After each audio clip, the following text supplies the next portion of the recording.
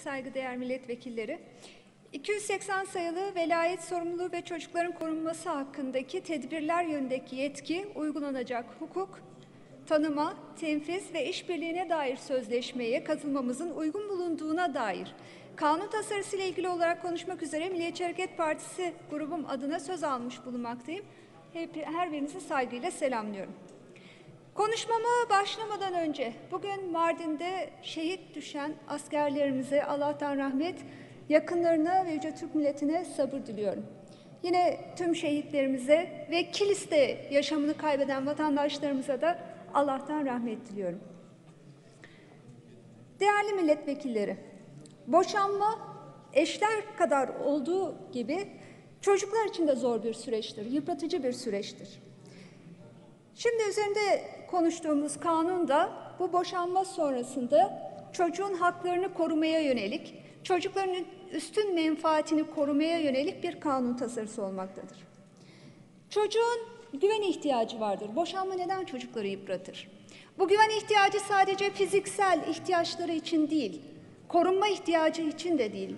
Bu psikolojik anlamda da çocuğun en önemli ihtiyaçlarından biri olduğu için önemlidir.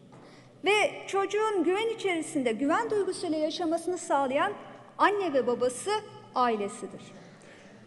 Eğer bu aile bir arada olmayı başaramaz, bütünlüğünü koruyamaz ve eşler boşanmaya karar verirse tabii ki eşler arasındaki karı kocalık ilişkisi biter. Ancak anne babalık görevi devam eder.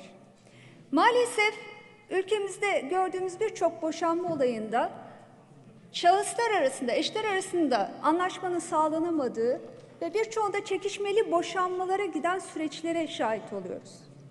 Bunu etkileyen birçok sorun var. Nafaka sorunu var, velayet sorunu var. Yine en kötüsü icra yoluyla görüşmeye varacak kadar anne babanın çocukları üzerinden kurduğu birbirine yönelik öfkelerini tatmin etme yolu var. Bütün bu konuları uluslararası sözleşmede ele alırken kendi iç hukukumuza da dikkate alarak çözmemiz gerekmektedir. Nafaka sorununda sadece kadınlar değil erkekler de mağdur durumdadır. Üç gün evli kaldıktan sonra bir ömür boyu nafaka ödemeye mahkum olan erkekler de söz konusudur. Adalet Bakanımızla e, özellikle bu konu üzerinde ve diğer velayet özellikle de icra yoluyla çocuk görme konusundaki sorun üzerinde çalışılmasını rica ediyorum. İcra yoluyla çocuk görme sadece anne baba açısından değil, çocuk üzerinde de çok yıkıcı etkileri olan bir sorundur. Gurbetteki vatandaşlarımızın yurt dışında aile birliğini koruma konusunda yaşadığı birçok sorun var. Bir kere birbirini tanımadan yapılan evlilikler söz konusu. Özellikle yeni kurulan aileler için Türkiye'den gelin ya da damat getirme birbirini tanımadan evlenen eşler arasında sorun yarattığı gibi ailelerin kurduğu baskıyla bu sorunları daha da büyük hale getirmektedir. Yabancı uyruklu şahıslarla yapılan evlenmelerde ise daha farklı sorunlar karşımıza çıkmakta.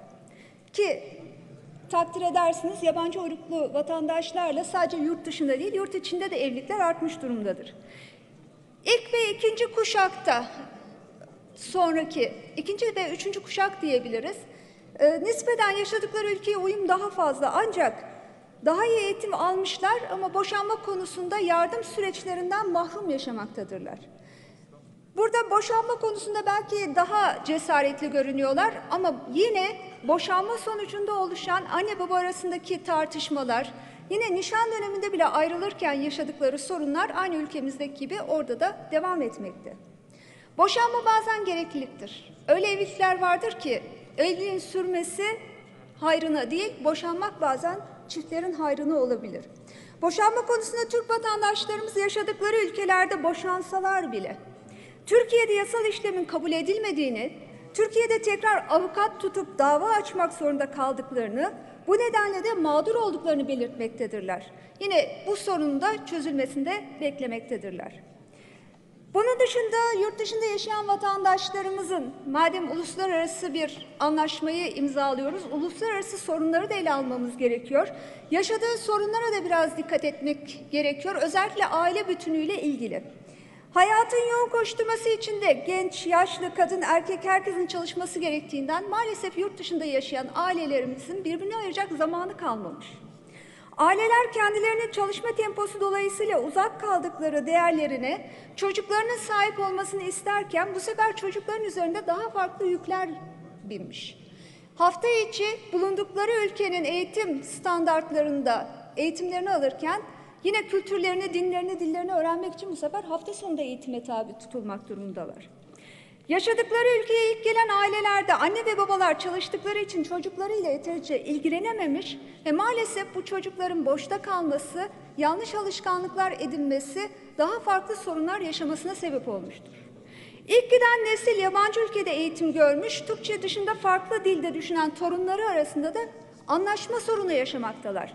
Biliyorsunuz bizim kültürümüzde dede torun, anneanne babaanne torun ilişkisi çok önemlidir ve kültürün kuşaktan kuşağa aktarılmasını sağlar. Ama üçüncü nesilde yaşayan çocuklarımız, Türk vatandaşların çocukları dil farklılığı nedeniyle yabancı bir dille de düşünme alışkanlığı kazanmaları sebebiyle bu kuşaklar arasındaki çatışma fazlalaşmış, birbirlerini anlayamayacak hale de gelmişlerdir. Yaşadıkları yabancı toplumda var olan aile içi ilişki yapısı ailelerde olumsuz yansıyor. Bazen Türk aileleri onları daha özgür bulup kendisini baskı altında hissedebiliyorlar. Yine anne ve babaları ayrı boşanmış yaşamaları, ebeveynlerin birbirlerinin çocuklarını kötülemeleri burada da görünmekte. Yabancılara karşı ön yargılı yaklaşımlar gençlerde özgüven eksikliği, bu eksiklikte toplumda pasif olmalarına yol açmaktadır. Bunun sonucunda dili, dini, kültürü, geleneği farklı toplumda olmaları neticesinde iki kültürün kıskaca arasında kalmakta ve toplumla bütünleşmekte zorluk yaşamaktadırlar. Gençlerin ergenlik döneminde okullardan başlayarak bazı kötü alışkanlıklar edinmesi, alkol uyuşturucu gençlerin ergenlik dönemiyle ilgili bu sorunları bedensel, ruhsal değişimle beraber yaşanan uyum problemleri de eklenince çocuklarımızı, gençlerimizi daha zora sokmaktadır. Yine Türk göçmenlerimizde biz yakın zamanda aile bütünlüğünü koruma e, koruma komisyonu olarak Danimarka ve İsveç'teydik. Oradan edindiğimiz bir bilgi var. Dediler ki kendileri kız çocuklarının yüzde otuz altısı erkek çocuklarının yüzde on, on ikisi üniversiteye gidiyor. Bu durumda kızlar eğitimlerini tamamlıyor ama erkekler erken dönemde iş hayatına atıldıkları için bu sefer kız çocukları kendilerine eş bulmakta zorlanıyor denildi.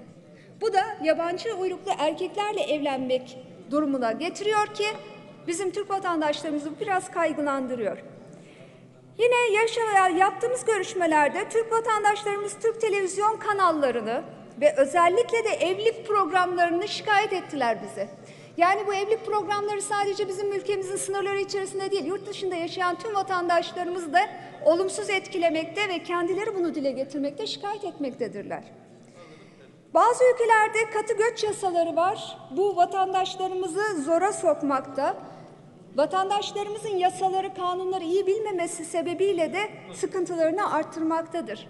Ve özellikle dile getirmek istiyorum maalesef koruyucu aile sorunu var. Biz Danimarka'da Öztürk ailesiyle görüştük. Size biraz bu konuda bilgi vermek istiyorum. Öztürk ailesi yeni evlenmiş bir çift ve evlendik do, e, evlendikten sonra eş hamile kalıyor ve bebek doğduğu gün anne babanın elinden alınıyor. Çok ciddi bir sorunla karşı karşıyayız. Burada bir ebe hemşire diyor ki ebe göz teması kuramıyor diye şikayet ediyor aileyi, anneyi. Ve anneye bir zeka testi uygulanıyor. Zeka testi Türkçe'ye çevrilmemiş. Uygulayan Türk değil, Türk kültürüne uyum çalışması yapılmamış.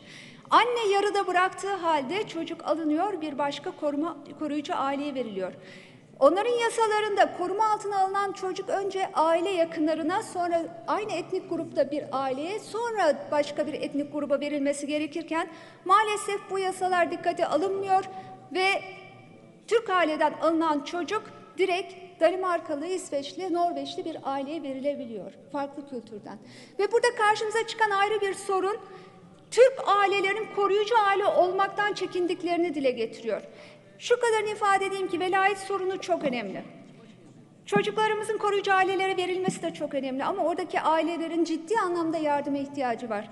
Boşanma sürecinde, aile birliğini koruma sürecinde, anne baba eğitimi konusunda ve her türlü hak ve kanunu e, öğrenebilmeleri için, haklarını öğrenebilmeleri için ciddi yardıma ihtiyaçları var bizden destek bekliyorlar.